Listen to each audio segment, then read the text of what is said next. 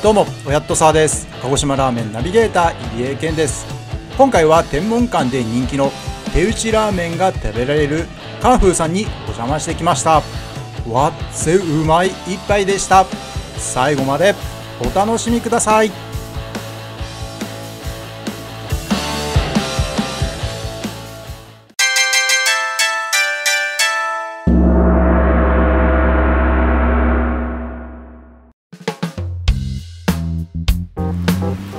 鹿児島市で天文館電停から徒歩5分くらいのところにあります鹿児島市東仙石町。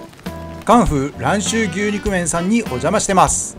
こちらがカンフーさんの食券機になります。今回はこの中から薬膳蘭州牛肉麺。麺の太さは 2.5mm にしました。しばらく待っていると着丼です。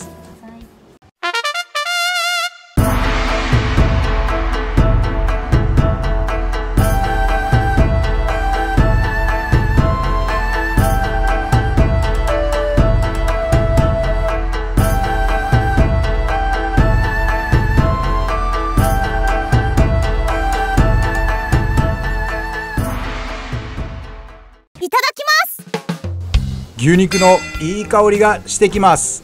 いただきますということでまずはスープから。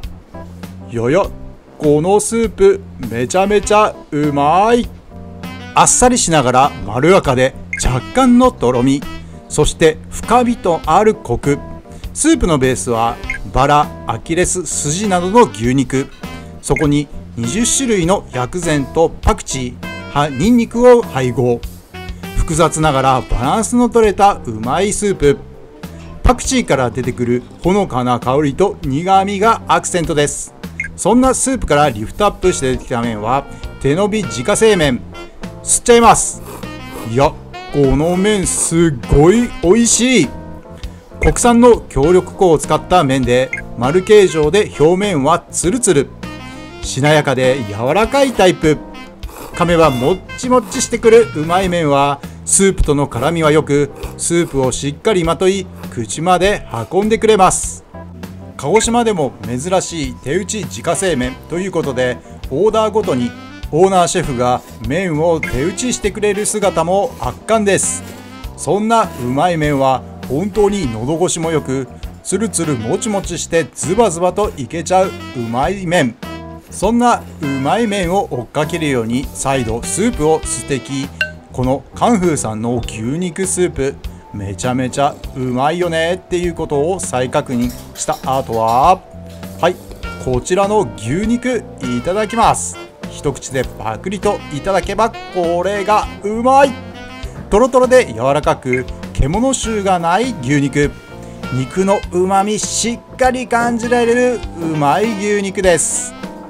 そんなうまい牛肉と麺を一緒に箸でキャッチして持ち上げ口の中に放り込めば牛肉のうまみのともにこの麺のもっちりしたうまみが一緒に口の中に広がってきます。この長めの麺はじゃんじゃんすすればすするほどうまみが口の中に広がってきます。てなわけで中盤から終盤にかかっていきさらにスパークしながら麺をじゃんじゃんズバズバとすすっていけば辛みはさほどないにしろ薬膳の効果か体の内側からポッカポッカと温まってくるのが分かります。そんなカンフーさんのお店の詳しい情報は動画下の概要欄にありますのでぜひともチェックしてくださいね。そして動画の評価ボタンよろしくお願いします。鹿児島のラーメン情報を知りたい方はチャンネル登録をお忘れなく。さあ本日もしっかりスープを最後まで飲み干し会員完食です。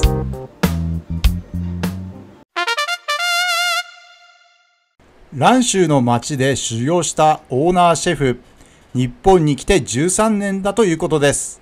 本格的な中華ラーメンがいただけるうまいお店。いろんなメニューもまた食べてみたくなりました。